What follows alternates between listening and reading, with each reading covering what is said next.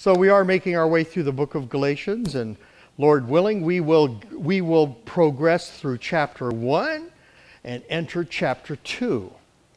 So, chapter 1, you know, Paul kind of, we kind of get the lay of the land, we understand what's going on. There are false teachers at Colossae, which is, right, the location, which is in southwest Asia and Turkey today, near Laodicea. And, um, and we know that they're causing issues, but Paul really hasn't said exactly what those are.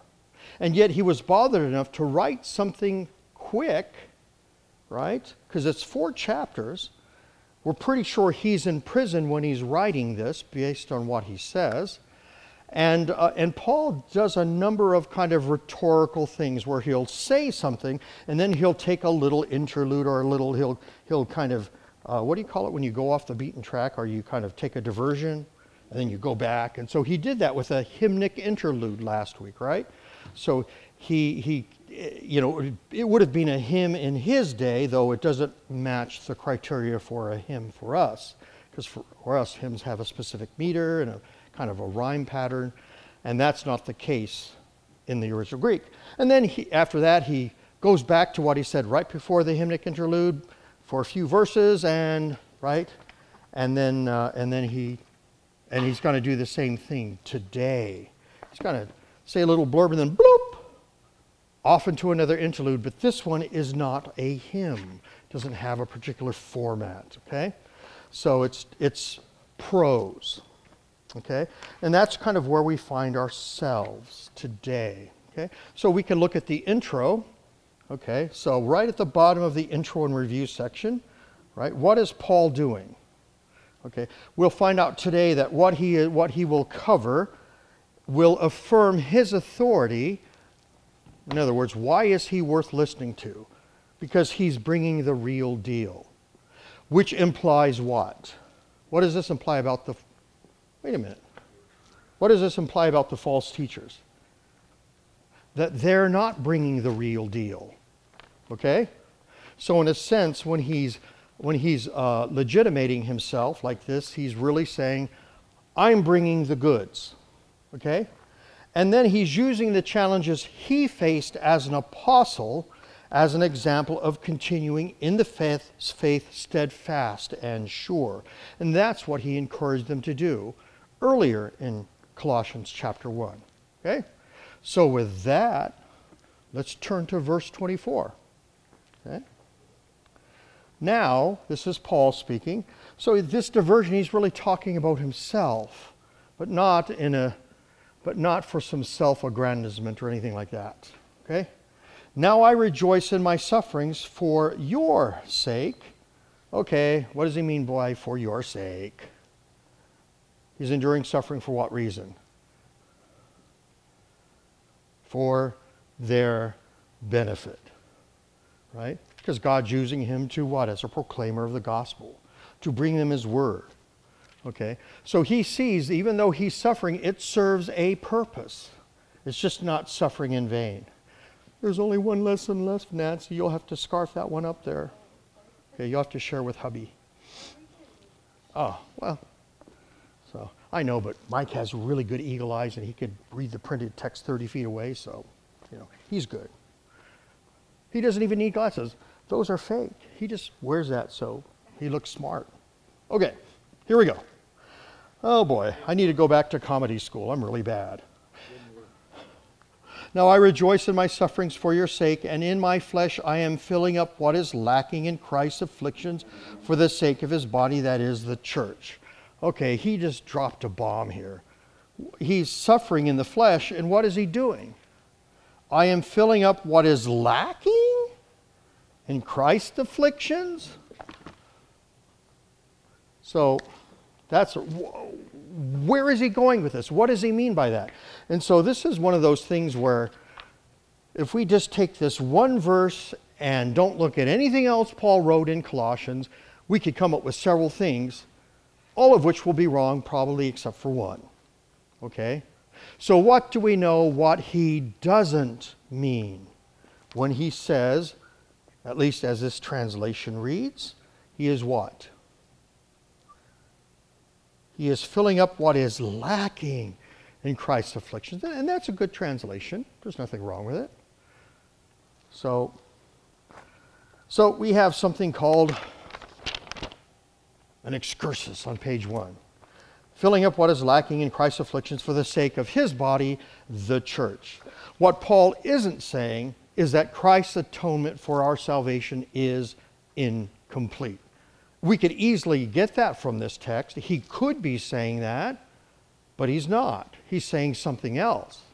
Now, how do we know that? Well, because if we look at Colossians, the rest of Colossians, all the way through, not including any other texts, um, this contradicts what he wrote elsewhere that Christ's atonement is complete, is enough for us. And we've already seen that earlier in Colossians. And so I have some references in the parentheses there. So he doesn't mean that. Otherwise, he would be like the Alzheimer's king. He just forgot what he just wrote. Okay? Paul wasn't that old. People may have thought that about the Apostle John, but not about Paul. You know, if you read Revelation, right? So, uh, so these afflictions, afflictions are referring not to Christ on the cross, but the afflictions of Christ in his body, the church. Do you see where Paul kind of makes that flip there? Let's look again at verse 24. Okay? So, I am filling up what is lacking in Christ's afflictions for the sake of his body, that is the church. So, his body, whose body? Christ's body. See? So, right? Christ is the head and we are the members. Okay? So that's what he that's what he's talking about there. Okay? And Revelation touches on this in passing, Revelation 6. We know this passage because we hear it, I don't know, every every so often. But let's, let's review it. This is from Revelation chapter 6. When he, the Lamb, that's metaphorical language referring to Jesus, okay? okay? When he, the Lamb, opened the fifth seal, I saw under the altar the souls of those who had been slain for the word of God and for the witnesses, for the witness they had borne. In other words, they were martyred for the faith because they were Christians. Okay? They cried out in a loud voice, O sovereign Lord, holy and true, how long before you will judge and avenge our blood on those who dwell on earth? These are the saints in heaven who are praying. Okay? So even though they're not suffering anguish and suffering and so on and so forth, they still know enough to pray for us, and yet they're not, they're not what? Saddened by it as we understand it. Then they were given a white robe and told to rest a little longer until the number of their fellow servants and their brothers should be complete, who were to be killed as they themselves had been. So this is referring to those who had been martyred and who will be martyred. Okay? And so.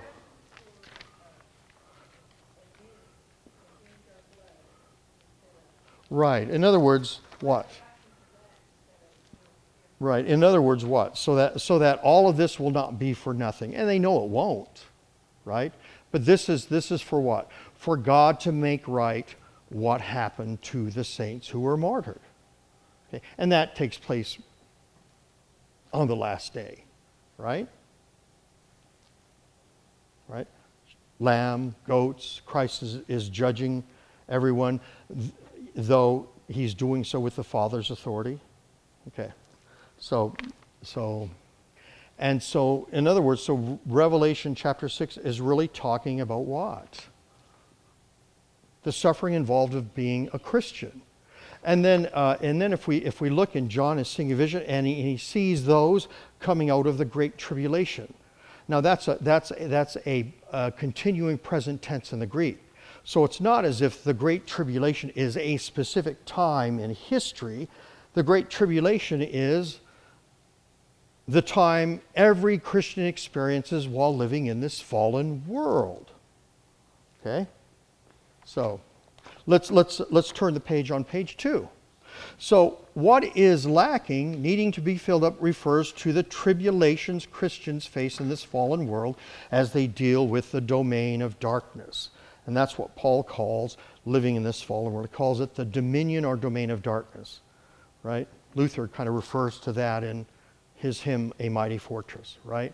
So, talking about that this is really the devil's domain, and yet he still is defeated in Christ. Okay? Well, Christians, okay, so when we're a Christian, we just don't, oh, yeah, I know about Jesus. And Jesus isn't only some abstract thing in some place called heaven. We're actually united to him. He is in us, we are in him. I mean, so, so think about what happens in baptism. Not just that we're given birth and that communion is holy food, right? Everyone understands being born. And if you give birth to a child, if you don't feed and feed the child, the child dies. So that's a no brainer concerning the Christian faith. We're given new birth through baptism, and Holy Communion is spiritual feeding. Not the only way that we're fed, but we can get that easily. Okay? Um, and yet, what? Um, uh, and yet, when we're baptized, into whom are we baptized? Well, yes, the triune God, but in this case, we want to we want to focus on Jesus. We're baptized into Jesus and in the Lord's Supper. So baptism goes one way, us into Jesus, and communion is the other way, Jesus into us. So, you know, it's kind of like we're with Jesus coming and going. Okay? So we're united to him, which means what? When we suffer, we're united to him. We're joined to him. He's joined to us. So when we suffer, we are not suffering alone. Yes.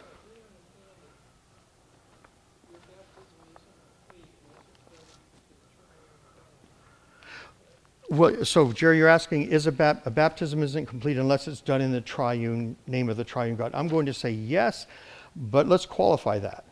Because if it's not done in the name of the triune God, it isn't a real baptism. It's not a Christian baptism because it's done in some way other than by the command and mandate of Christ. Christ says, baptize into the name of the Father, Son, and Holy Spirit. Okay? And it has to be the real Father, the real Son, the real Holy Spirit, not, oh yeah, but I think Jesus was actually a snail who ate grass on the ground. Oh, well, okay, if you're baptized in the name of snail Jesus, that's not a Christian baptism, even though you use the name Jesus. See? And so that way, even the, so we can refer to a Mormon baptism. They use the same words, but in Mormonism, or La, if you're Latter Day, if you're part of the Latter Day Saint Church, Jesus is Lucifer's brother. What? See, so even though they use the same words, it's not a Christian baptism.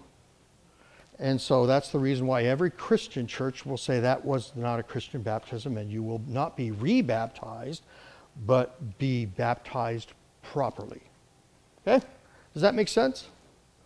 Okay. Um, so we're joined to Christ, which means we are not suffering alone because we're with Christ and He is with us. And also, from what we read in Revelation, who's praying for us?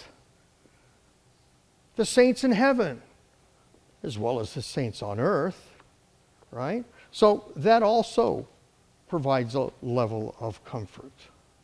So, through this, that is, the sufferings we experience, we can better sense the mercy Jesus showed for us and others in his suffering for our salvation. In other words, it's just not useless. God will take suffering, which is a result of this fallen world, and turn it for the good. He did that with Jesus' death, right? I mean, why was Jesus crucified? Oh, it was God's plan to save us, yes. But everybody who acted and took, uh, uh, acted in such a way so Christ was crucified acted according to his own interests and sinfulness. No one was an automaton. Everyone did what he, he wanted according to whatever drove him. Christ ends up being killed. And how did God use that for our salvation? So that's how we know that the stuff that we go through, God's going to use it in some way, even though we can't comprehend how. Okay? That's where faith is involved. Okay?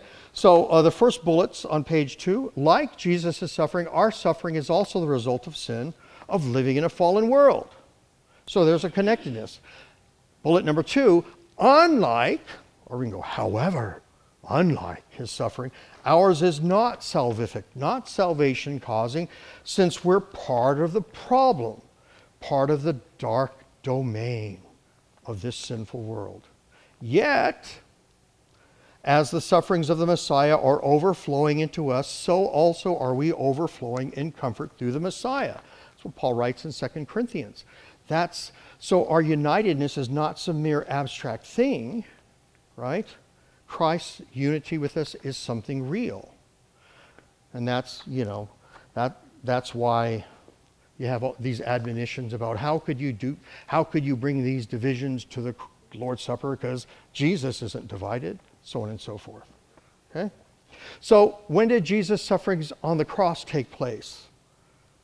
Well, it took place before he rose from the dead. Right? So, we're going to follow that one through. So, God uses this same Jesus sanctified pattern to take our sufferings for others to help prepare us for the resurrection to come. Okay? So that's why it's kind of good to know the content of the faith and to kind of know what's going on. All this stuff is happening, but it's kind of good if you know it, right? Because that way at least you could understand it in your brain instead of simply going through it. Okay? Um, what else do sufferings do? Well, they turn us back to Christ's suffering for our salvation. They point us back. As both God and man, Jesus gathered up our cries of our sinful God forsakenness, sharing our common experience under the shadow of death. So Christ died our death, but he died our death as the ultimate sinner. Okay? So, which means he also endured God's judgment for us, and by doing so bestowed eternal life on us, mortal beings. That's part of the great exchange, right? So it's kind of like a swap meet. Okay, Jesus gets our sin and we get his righteousness. That's a pretty good deal, right? Okay, let's look at the third bullet. What else does our suffering do? It points us forward to our resurrection, which can only take place because Christ rose from death, who will call us forth from our graves on the last day. So is suffering the result of living in a sinful, fallen world? Yes. And yet, God takes that and uses it for His purposes. Now, let's, let's wrap our noodle around this. Does everybody suffer in this world, whether they're a Christian or not? Uh, yeah. Doesn't everybody get sick? Doesn't everybody die? Doesn't everybody have calamity? I mean, so the things that really happen to us as fallen, sinful beings living in a sin corrupted world, they're all the same. The specifics may change, or the intensity might change, but this reality doesn't. What's different for us is we know the ending of the story, right? I mean, if you're not a Christian and, I don't know, you have a nihilistic worldview, you would just go what? What's it say? Crap happens and then you die? Just kind of, right? Um, yet, what? Crap happens and then we live. Because what is death for the Christian? It's still death. We don't deny that. But death is the portal for eternal life. And it's just the beginning, because at first, until Christ returns, it's our soul in heaven. But that's still not the, that's still not the whole enchilada, right? Whole enchilada is body and soul. Okay? So no one enjoys suffering, though joy hides within suffering because we know how everything ends. In Acts, after Peter and the apostles left the Sanhedrin, so remember they, they, they get called into the Council of 70 and they get beat, they get whipped and boop, right? And as they leave, they rejoice because they were counted worthy to suffer dishonor for the name. What? What are they, nut jobs? Right? So, to rejoice from a beating seems strange, but they knew Jesus. They probably said, Well, I don't know how God's going to turn this, but I know He's going to turn this for my eternal good, for the eternal good and His will for everyone. Wow.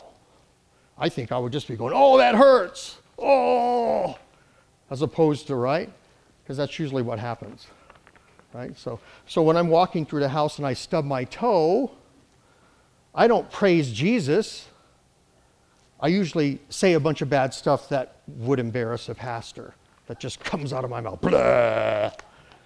And then Sherry's like, oh, sorry. Okay. Um, so that's often our reaction, right? It's just, you know, kind of a, an instinctive, automatic sort of thing. And in fact, based on studies, they say if you if you're in if you're in pain and you and you yell a bunch of curse words, it actually helps alleviate the pain. I'm not saying to do that. I'm just saying, you know, Pastor, you're rationalizing when you stub your toe. I stub my toe a lot. And Sherry goes, oh, I haven't moved that.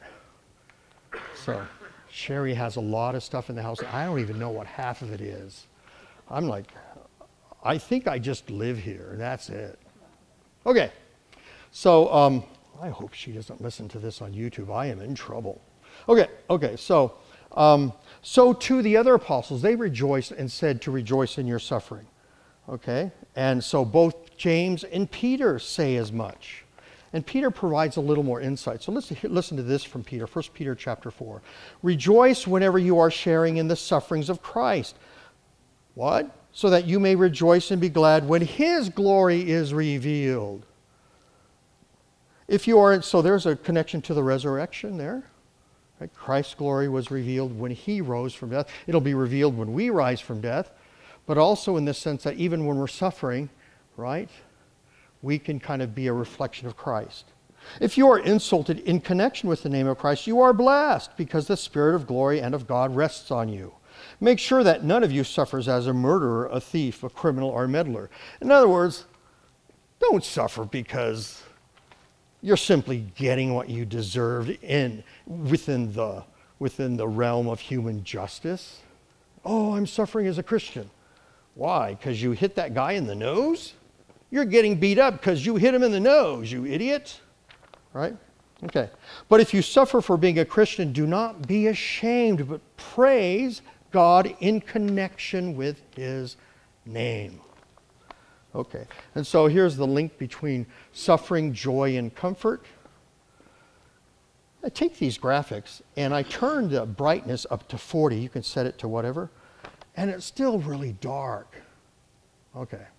So, um, because Christ's suffering are flowing into the Christian, he is participating, that is, the Christian is participating in the sufferings of Christ because we're united to him. This isn't an intellectual understanding of this reality, but an actual spiritual participation. So when we suffer, right, Christ suffered for us, and that's done. And yet he's united to us, and he's suffering when we're suffering. And because of Christ, that connects back to the cross. So we're participating with Christ. Even though we're not actually there, he's actually suffering for our sin, right? And yet there is a connectedness to this, that our suffering is not in vain. That just as Christ suffered and God worked that for our salvation, our suffering, because we're united to Christ, God will also turn and work it for our good. And if we don't understand, we will at the resurrection. Okay? All right. Suffering is a result of our fall into sin, but because Christ has taken suffering and worked it for our salvation, we know that in all things, including suffering, God works for the good of those who love him. And here's the Apostle Peter later on in chapter 4, 1 Peter chapter 4, 12, 13. Do not be surprised that a trial by fire has come to test you as if something strange were happening to you. Instead, rejoice for you are participating in the sufferings of the Messiah, so that you may also rejoice with great joy at the revelation of his glory. in other words, we're connected to his death, we're connected to his resurrection. And so all of our sufferings get wrapped up into Christ's sufferings for us on the cross, even though we're not technically there. But Christ is suffering that for us while we're going through it here. Well, I wish he could just take it all away. Right? We still live in a fallen world. There is still sin, and there will still be suffering. Okay? In fact, a lot of the suffering is not just, oh, you know, something bad happened. Wouldn't we say that most of it in some way is stuff that we bring on ourselves? I mean, collectively? Yeah, but we still want to blame God for it. How could God let six million Jews die? What a loser of a God he is. Did we do that? Or did God do that? Well, see, so we blame God for the stuff that we do as a fallen humanity, right? That's like, that's here. So I'll, I'll, I'll use uh, Bear and, and uh, Julian's names in vain. Okay? So it's like they get mad and throw all their toys in the room and let it be. And then they leave and then they come back and they blame God for the toys on the floor. And a good parent will say, You need to clean up those toys. And you need to take the blame for that because you did it. All right? If not, you'll just have kids who grow up will blame everybody for the problems and they'll never learn to what? Adapt to the problems they face because they'll always be blaming others. Okay. Christians don't seek suffering, but suffering and crosses will come. Not if, will. It's unavoidable in this world. Everyone suffers in a fallen world, Christian and non Christian. Christians, however, recognize Jesus came, died, and rose, and He is with you in your suffering. He suffered for you, and now He suffers with you. And as he suffered and rose, he will make sure you also rise to life. And all this is true, but it doesn't help if the, if the hot poker's in your eyeball, right? Yeah. So, do you ever read the martyrdom of Polycarp? Maybe, maybe I'm the only weirdo who does this stuff. It's worth reading. Just, you know, so because, you know, Christians were publicly martyred in the Roman stadium and there were Christians who were there and who wrote down what happened when he was martyred. So, okay. We're ready to press on with the next verse because that was all an excursus. Because when we read this, verse 24, we'll go, What? And then our heads explode. Now I rejoice in my sufferings for your sake, and in my flesh I am filling up what is lacking in Christ's afflictions for the sake of his body, that is the church. Okay. Of which I became a minister according to the stewardship from God that was given to me for you to make the word of God fully known. Okay, that's verse 26. Let's turn the page. The mystery hidden for ages and generations, but now revealed to his saints. Okay, who's who here? The easiest one is who are the saints? Yes. Well, specifically the Christians in Colossae. But we could generalize to say, okay, Paul's referring to Christians. Okay.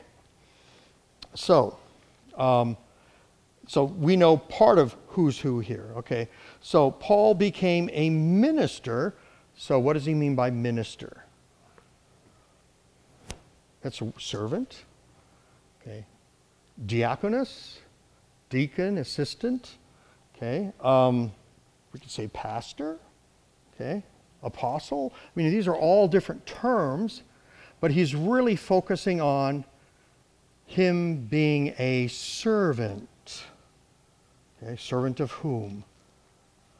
God. In other words, he doesn't he's not authorized to do his own thing and do whatever he wants. He's somebody else's servant. And if you're somebody else's servant and you do, oh, I know, you say you're, uh, you clean the house for somebody, right? Well, yeah, you know. And the person you work for said, hey, you know, the toilets are pretty dirty. Can you really clean them up? You know, I don't want to clean toilets today. I'm just going to clean the windows.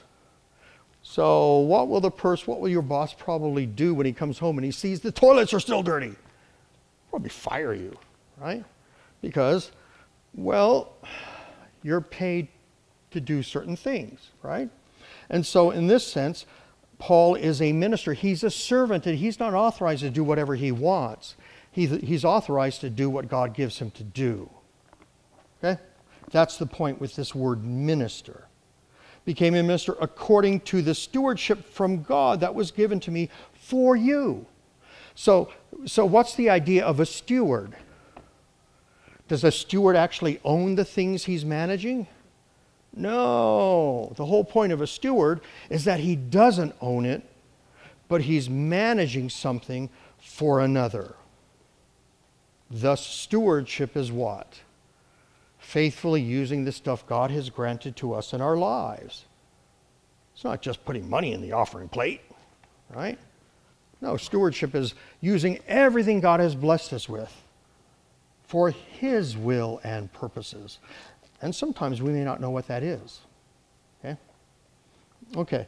So, according to the stewardship, so Paul is a steward. What he's given to do is not his own thing. Well, you know, I don't really like this little, you know, this little part of the, I don't like this teaching about baptism. Really? God's going to use water? And he's going to, for that sounds stupid. I, am not I, I'm going to just talk about Jesus and the cross and not baptism. Is Paul authorized to do that? No. Because he's the servant, he's the steward of what God has given him, and he has to be faithful. Okay? So that was given to me for you. See the for you ness? So, in a sense, when a pastor preaches, it's for you. Now, the for you part doesn't mean, oh, well, if I don't like his sermon and it's boring, I'm going to go home. That's not the for you ness. The for you ness is what? That he's delivering the gospel goods, which are for you. Now, your perception of it may vary. Might be boring, or I don't like it, or, or whatever it is. Okay? But the for you is not whether you like it or it makes you feel good or happy. It's what? God's stuff for you. Okay? And in a sense, Paul can't control one's response. Okay? So it's given to me for you to make the Word of God fully known. Ah. So part of him being a steward is to make the Word of God fully known. We're going to see this stuff about knowing and knowledge and understanding and wisdom all kind of used. Okay? And then verse 26 um, the mystery hidden for ages. So he's making something known and he's saying that it's a mystery hidden for ages and generations, but revealed to his saints. Who or what is this mystery? Let's, let, let me make it a little easier. Who was not revealed to the world until he became incarnate. He's talking about Christ. Christ is the mystery, hidden in ages past because he hadn't yet become incarnate, now revealed. To his saints, meaning the saints believe in him. Okay? All that stuff. So, you know, remember Colossians has a whole bunch of strings of words that's part of, um, there's different types of Greek. And Asiatic Greek in that area is kind of flowery. And so Paul is kind of using kind of the rhetorical flourish that's kind of used in that area. Even though in other areas um, where Greek was the common language, people kind of made fun of their use of Greek. Ah, they're just pretentious and using flowery terms and that sort of thing. So. All right. Are we ready to press on? Are you guys doing okay hanging in there? I don't know. All I see is a bunch of arms waving around. That's okay. Maybe a couple things are kind of like percolate in. Okay? Let's look at verse 27. Okay? Because we want to get to chapter 2 today. To them, who's the them? Oh, I don't know who the them is. The saints. To them, that is, God's saints, to them, God chose to make known how great among the Gentiles are the riches of the glory of this mystery, which is Christ in you. Doesn't that make sense? He was just talking about what? You know, sufferings and that sort of thing. And in you, the hope of glory. So, kind of the Christianity is a bunch of stuff, right? I mean, for us, it centers on and revolves around Jesus. So, Christ for us, didn't Paul just kind of run with that? Right? And then Christ for us, Christ in us. The for becomes the in. So every time we come to church, we get more Jesus for us, so we get more Jesus in us. Why do I need that? I got a smidgen of Jesus when I was baptized when I was a baby. Why do I need anything else? See? Can you have too much of Jesus? Well, no. There it is. Okay. All right. So, um, kind of interesting is that you see this whole kind of for in connectedness. Okay. So let me see if I wrote any crazy questions. So, what did God choose to make known? That's, of course, Jesus. What are the implications of this? Well, right? The forest is in us. We're saved. Okay. And then let's look at verses 20 and 20. Him, who's the him?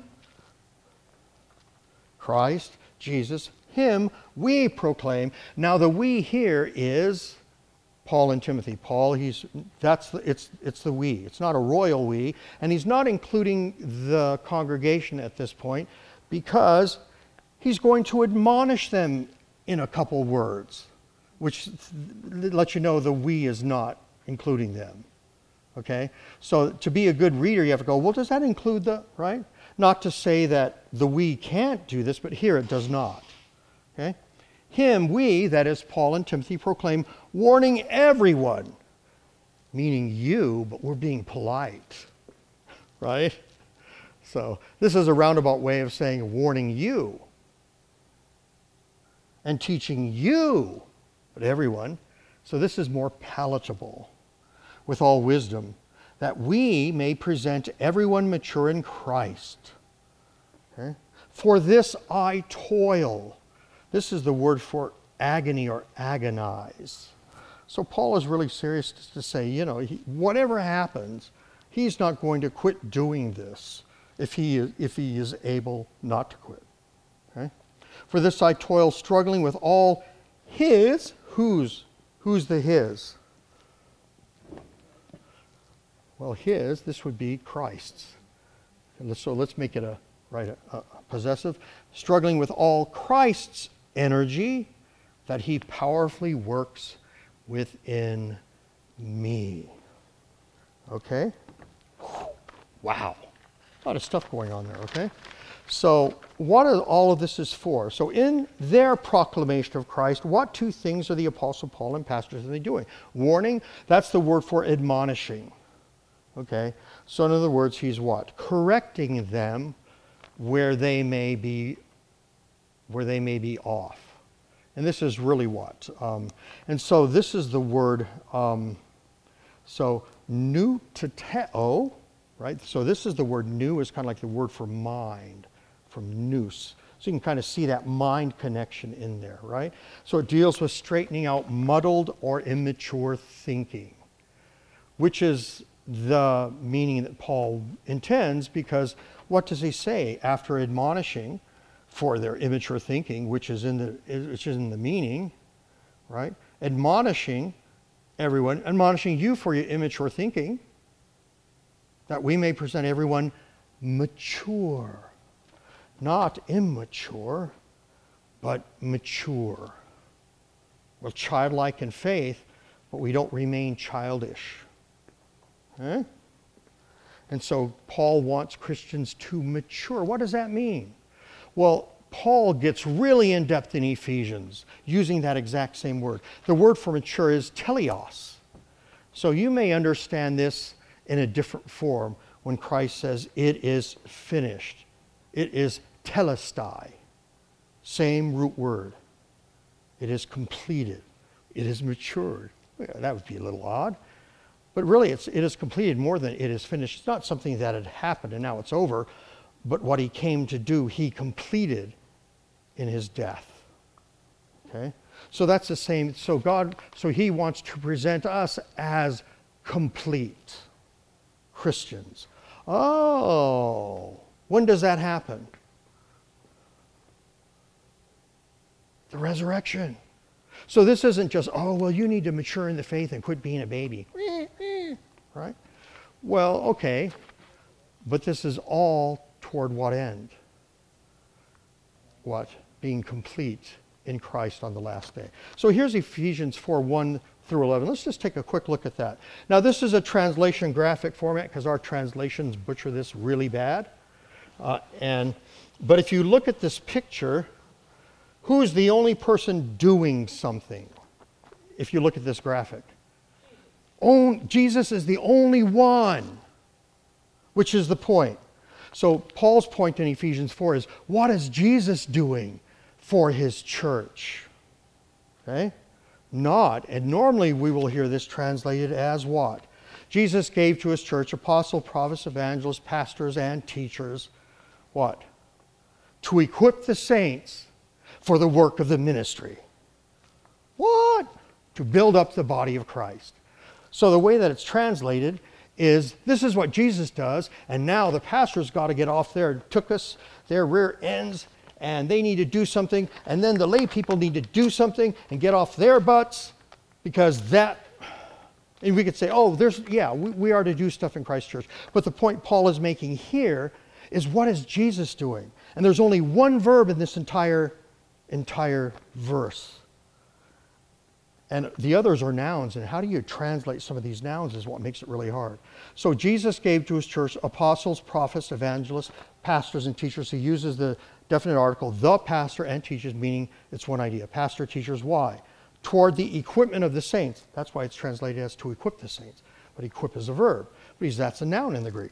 Toward the equipment of the saints, for ministry work, for the building of Christ's body. And building is a noun. For what purpose? To arrive in unity in the faith and in the knowledge of God's Son, into a mature, complete man into the measure and maturity of Christ's fullness.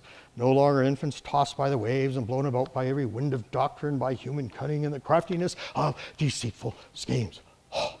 okay, so Colossians, what is, what is the whole point? That so that what? People, so that the people will die in faith, trusting in Christ, arise into the completeness Christ gives them. That's the point. Okay? in that, yeah, you need to mature, you need to know more doctrine, you need to, yeah, all that's in there. But Paul is leaping to the end, admonishing, teaching, okay, that we may present everyone mature. He's saying we, but it's really Christ through pastors, Pastor Timothy and Apostle Paul. Okay? Does that make sense? This is all toward that end. So.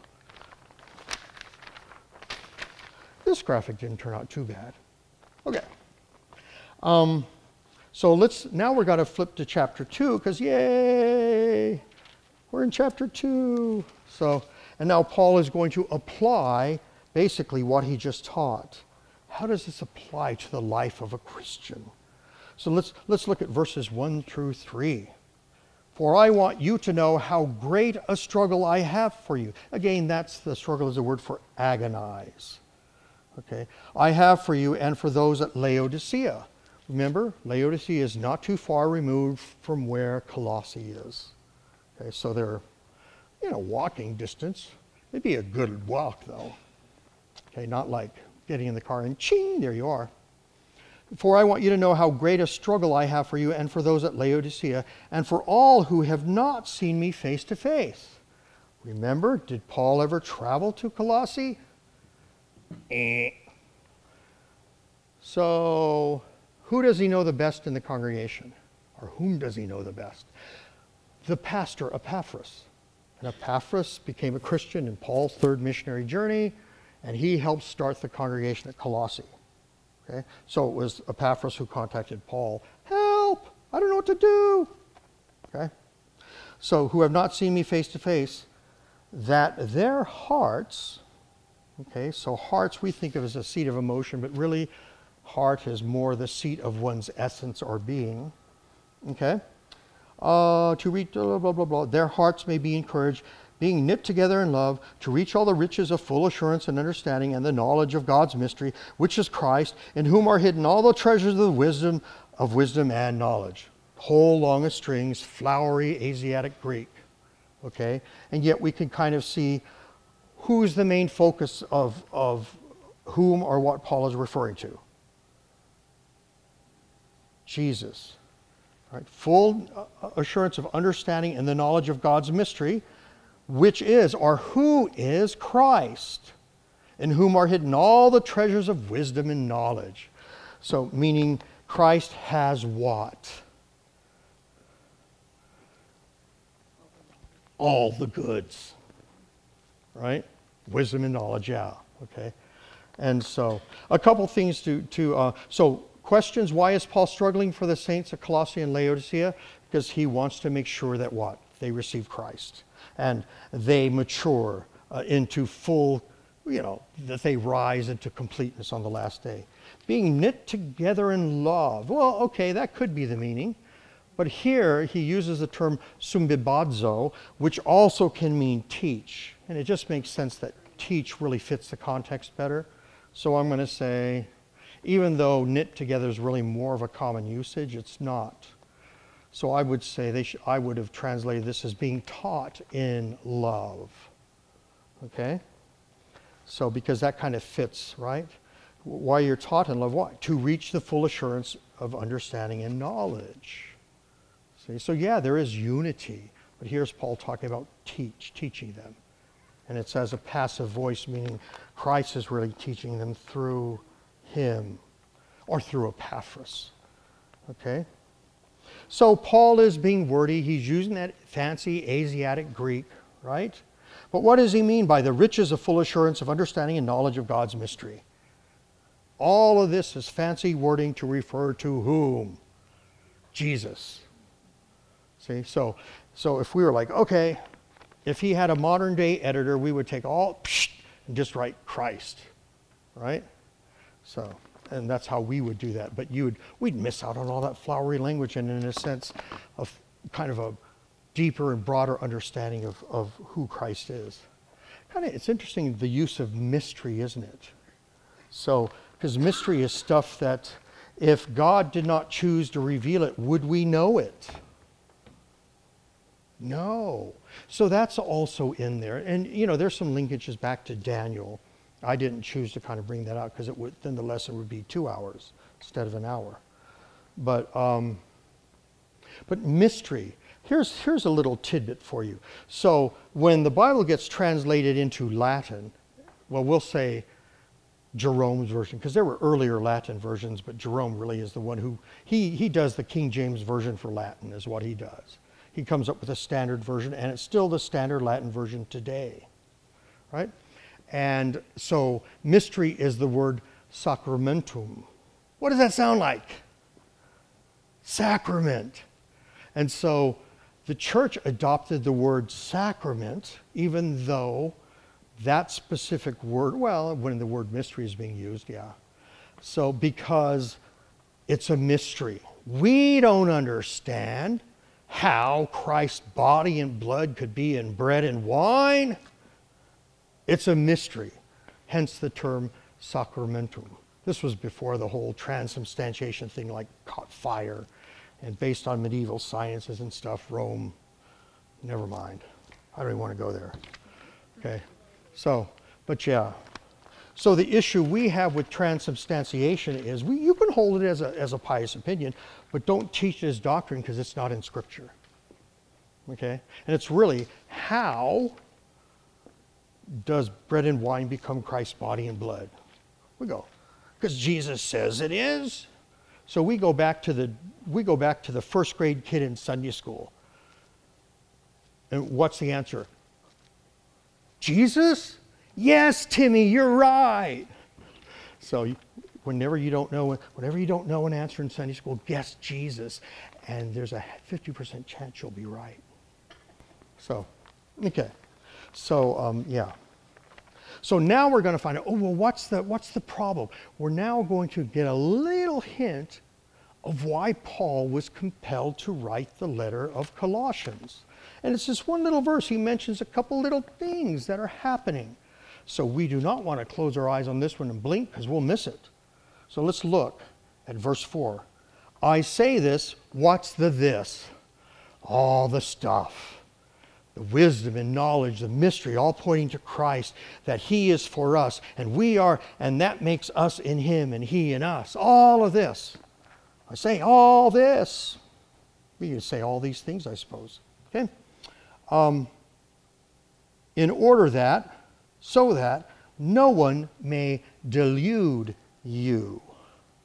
So this is kind of the idea of, of kind of use rhetoric, use trickery of language. Okay? Someone may delude you with plausible arguments. So, in other words, what these false teachers are doing, they're well skilled in language and they're coming up with arguments that when you just listen to it and don't ponder them too much, you go, yeah, yeah. So, and it's easy to get snookered. I remember at seminary, um, there was this, I don't know, you know, they have these like big giant brainos that get together and discuss stuff, way smarter than me and well better in the languages. And so, and you have somebody saying, well, this particular passage means this, and he explains why. And somebody else goes, this particular passage means something else, and here's why. And so as we're listening, it's like the tennis game, right? We're getting our heads going like ding, ding, back and forth. And so when one guy is done, we're like, yeah, he's right. And then the next guy, oh, he's right. And then back and forth. Because we didn't know, we knew enough to understand what was being said and make sense of it, but we didn't know enough to actually say, who is actually right? We're like, ding, ding, ding, right? That's these guys. These guys come along and, yeah, see? So they need, they need to know more of Christ. So that way they're not deluded by what these false teachers are saying. That's really kind of the point. Okay? So that's what's happening. We still don't know specifically what these arguments are. But it's kind of clear that, it, that there's a works righteousness involved because Paul, at a number of points, basically is very clear that their status before God has nothing to do with them or what they've done. Very clear on that. So he's kind of he's kind of taking, you know, he's kind of sweeping all that debris away to to ensure that the gospel is shining forth. Okay? And are we ready for verse 5? Ah, I was ready 30 minutes ago, Pastor. For though I am absent in body, he's not there. He's in prison. He couldn't be there if he wanted to. For though I am absent in body, yet I am with you in spirit.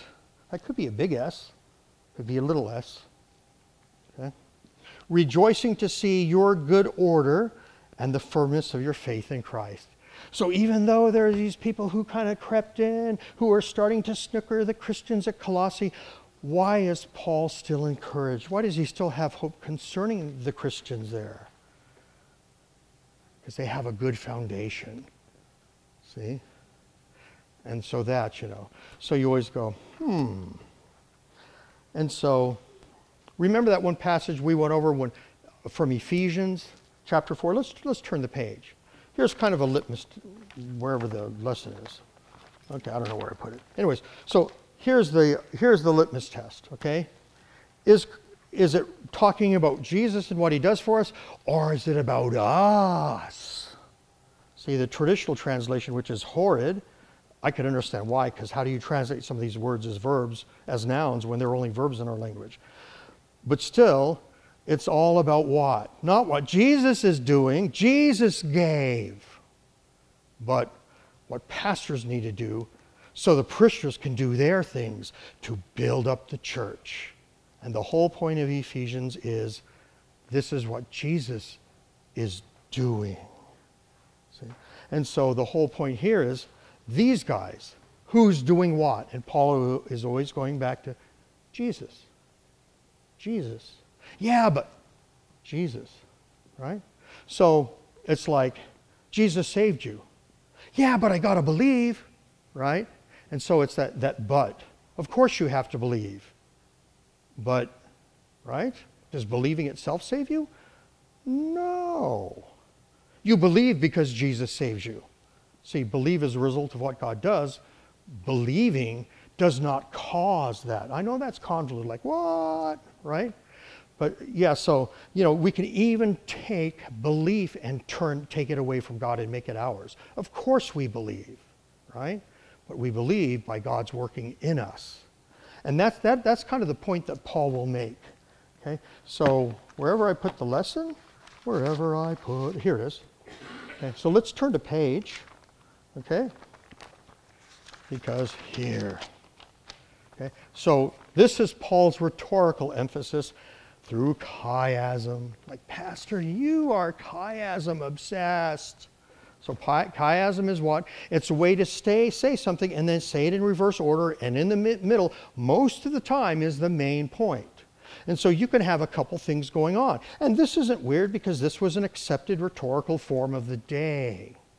Not for us. So we look, we look at it and we're like, this is weirdness.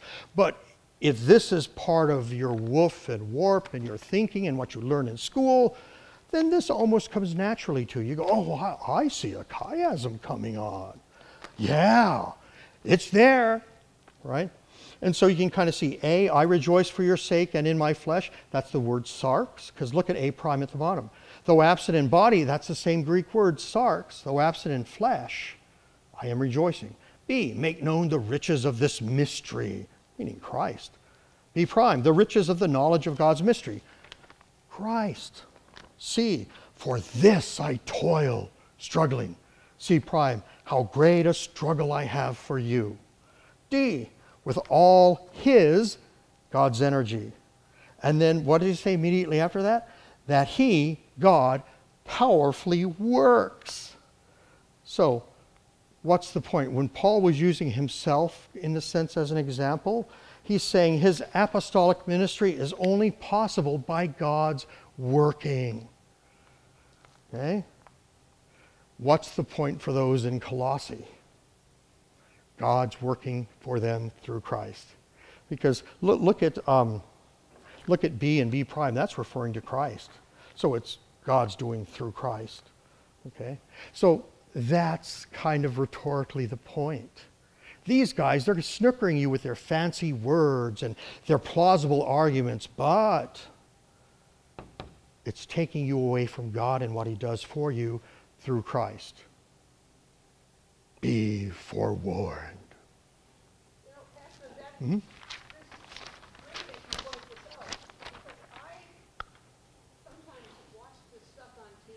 Oh no. Oh no. Be better to play video games. Oh, yeah. Mm-hmm. Mm-hmm. Yeah. Oh. Mm. Well, a lot of it's worldview. So a lot of Christianity operates, well, God has saved you. Now what are you going to do? And yet, Scripture talks about God saving you in the past, God saving you in the present, and God saving you in the future. That is at the resurrection on the last day. So salvation is a done deal and yet not yet fully complete, which is Paul is saying, so that you will what? Be presented complete. Okay? So we need to understand salvation that way, which is why we come to church. Why you come to church? To get saved. Well, you're already saved. Can I have too much salvation? That's what Jesus set up. What he told pastors do all deal with salvation preaching, teaching, administering the sacraments, baptism, absolution. Those tasks are what? Bringing Christ to you so he is in you. Okay? And if I do otherwise, kick me out on the street. Let's pray, shall we? Our Father, Paul is a crazy dude sometimes because he's just like, his head's way too big. He's so smart, and we could barely keep up. We ask that you give us patience as we deal with what he has written, that we follow the ebb and flow and the rhetorical flourishes, flourishes he makes, especially in the book of Colossians where he's all over the map. May, may we be granted this so we can understand our life with you because of Christ in the Spirit that you sent. May this delight us all our days so we may remain steadfast and secure until Christ calls us home into eternity. In whose name we pray. Amen.